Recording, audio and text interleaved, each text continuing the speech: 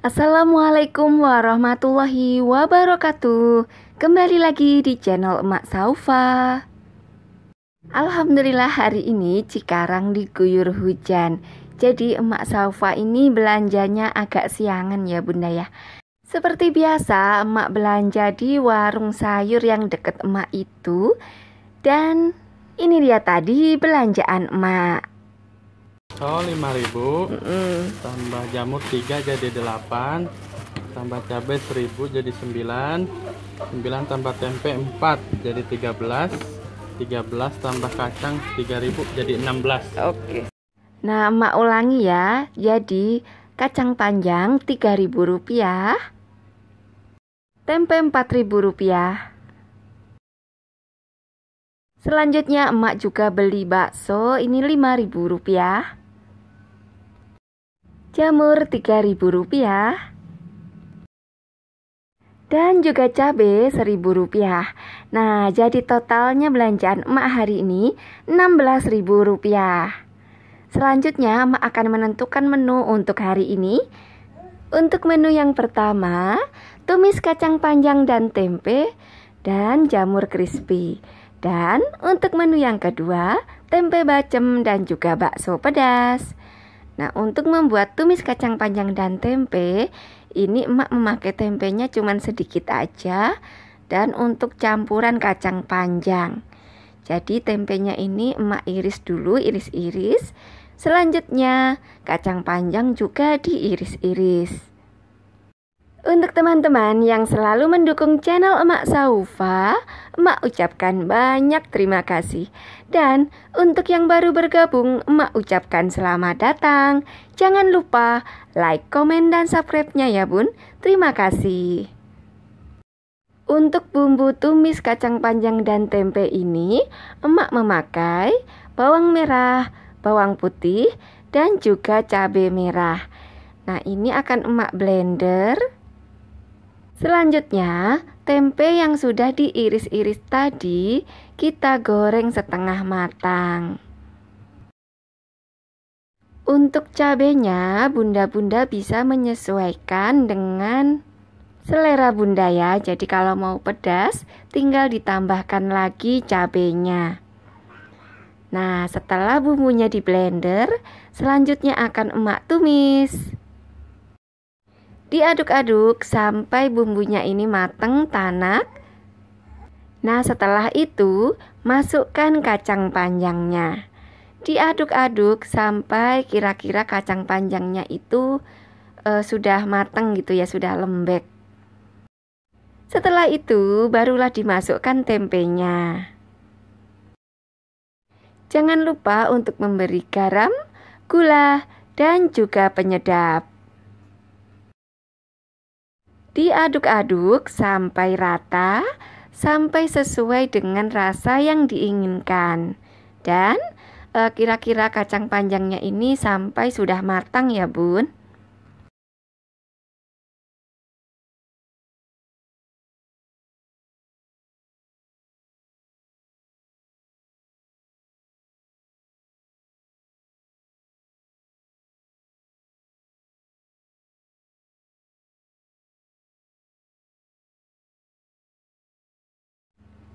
Tumis kacang panjang dan tempe sudah siap untuk dihidangkan.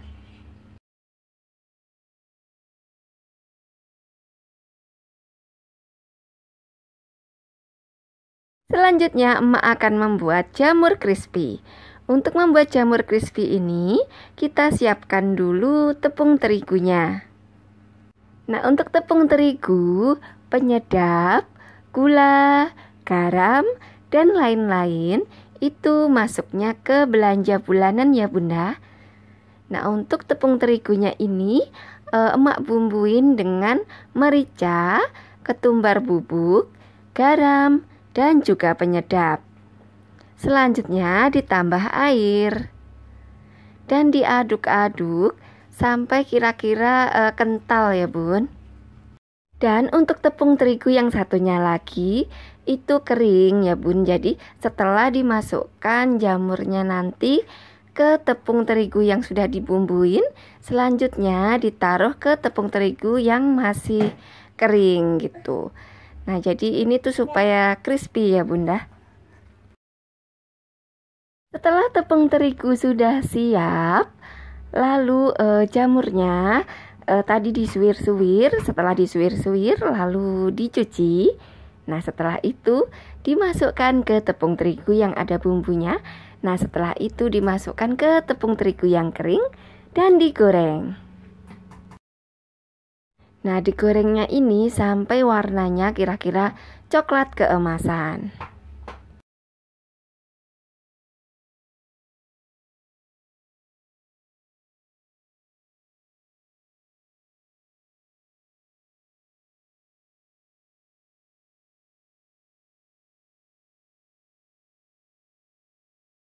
Nah, ini dia menu yang pertama, tumis kacang panjang dan tempe dan juga jamur crispy. Selanjutnya emak akan memasak untuk menu yang kedua yaitu tempe bacem dan juga bakso pedas. Nah, untuk tempe bacem ini eh, emak iris-iris dulu dan emak goreng memakai garam aja. Jadi untuk membuat tempe bacem ala emak itu, tempenya emak goreng dulu setengah matang. Setelah tempe diiris-iris, selanjutnya dibumbui memakai garam dan digoreng. Untuk bumbunya, emak memakai bawang merah, bawang putih, kemiri, gula merah, ketumbar, asam, dan daun salam. Nah, pertama-tama bumbunya tadi di blender dulu, selanjutnya ditumis.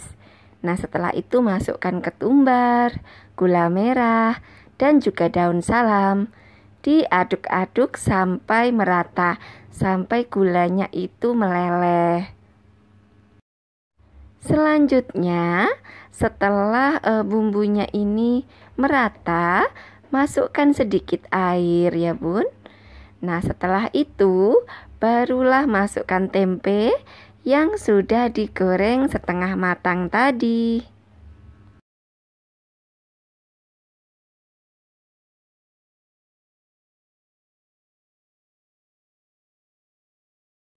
Setelah itu diaduk-aduk, jangan lupa untuk menambahkan garam, gula, dan juga penyedap diaduk-aduk terus sampai benar-benar menyusut.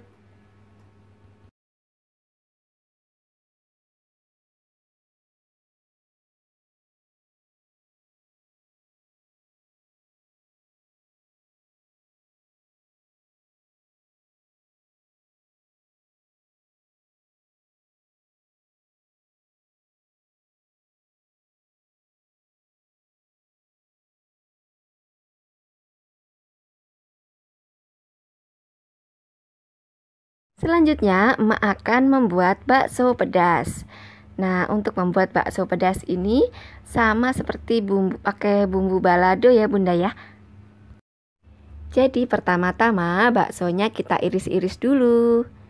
Selanjutnya disiapkan bumbunya seperti bawang merah, bawang putih, cabai merah, dan juga daun jeruk.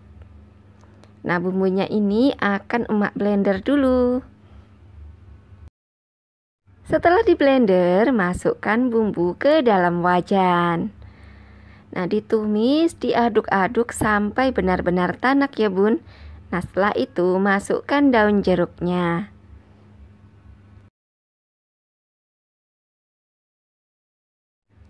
Setelah kira-kira sudah tanak, masukkan garam, gula, dan juga penyedap. Nah, dicek rasanya sebelum baksonya dimasukkan. Setelah itu, masukkan baksonya dan diaduk-aduk terus sampai bumbunya ini menyusut, meresap ke dalam baksonya. Nah, jangan lupa untuk dicek rasanya ya, Bun.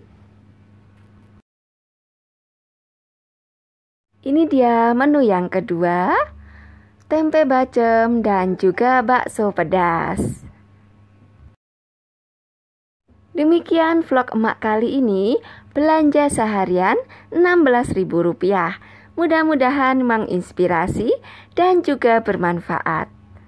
Maaf bila emak ada salah-salah kata. Wassalamualaikum warahmatullahi wabarakatuh